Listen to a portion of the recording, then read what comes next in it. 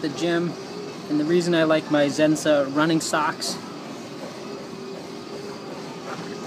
because they make me the coolest person here.